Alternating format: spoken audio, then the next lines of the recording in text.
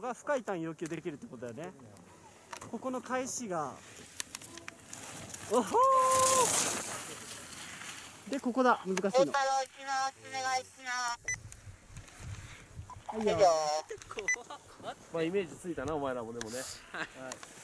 太田何ぐらいまで出たんだろこの手手前。前の朝から、でもさいい。んじゃない高いとこだったよ。い、わかりました。ふーしゃあな。まああれはしゃあないね123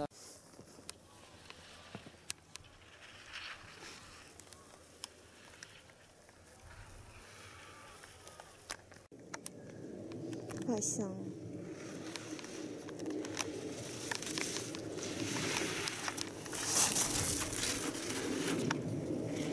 お願いします。はい。はい、ちょっと待って。いやーこれどうする？もう一回こすり行く？時間的には行っても全然大丈夫ですね行きますかね。でも10時50分なんだ。一意発外と。そうだね。意外と。11時間も。次のお願いします。